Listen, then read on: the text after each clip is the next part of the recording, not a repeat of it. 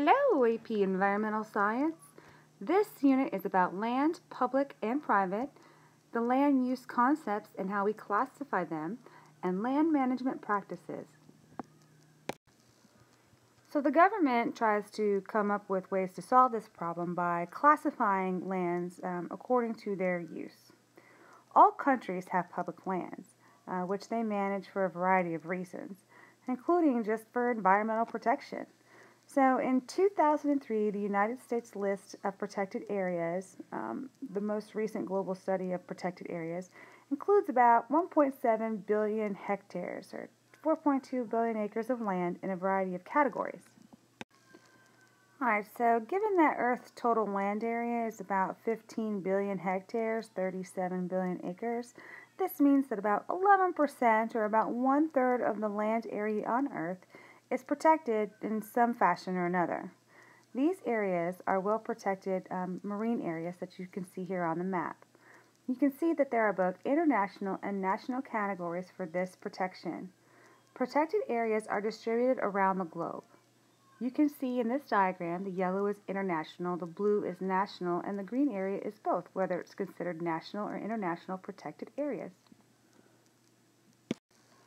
The 2003 United Nations list of protected land areas and protected areas classified protected public lands into six categories according to how they are used national parks, managed resource protected areas, habitat and species management areas, strict nature reserves and wilderness areas, protected landscapes and seascapes, and national monuments.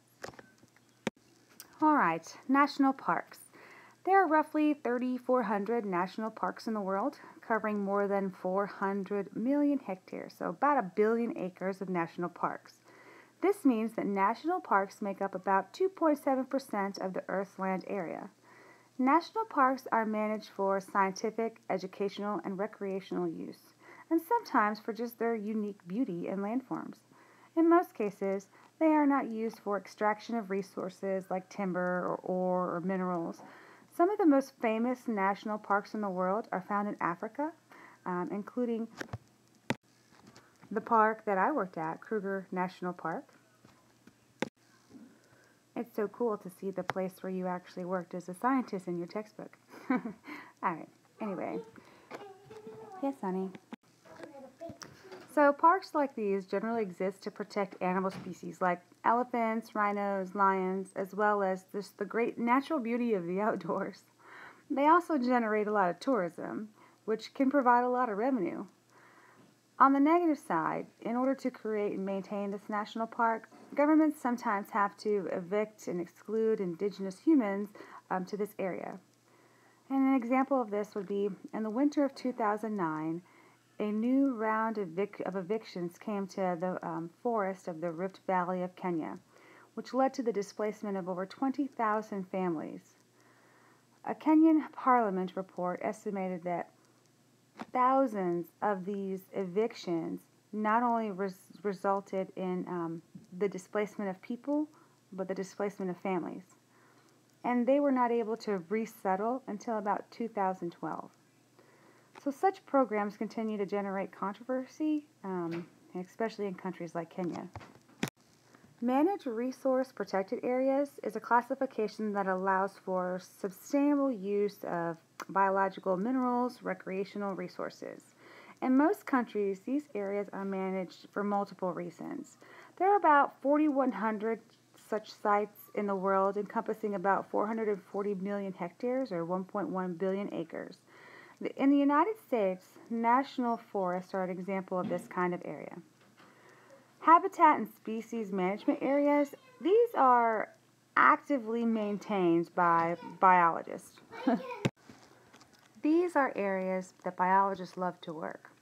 There's a lot of provisions there, like fire prevention, predator control, there are approximately 27,600 sites that cover more than 300 million hectares or 740 million acres. Northwest Russia and the border, bordering areas of Finland um, have the highest protected areas in Europe. About 5% of its total area is this protected species management area. And of that total, more than one half consist of habitat or species management areas that are actively managed by biologists for hunting and conservation. Perhaps you've been involved in this new quarter thing that my children are doing, where they're collecting the quarters of all the national parks um, of the United States. You can see why it becomes such a place where humans and government biologists alike like to restrict um, its degradation just based on its natural beauty. From the, the canyons to the hot springs to just the enormous amount of beautiful wildlife that are in these national park areas. All right, let's take a break.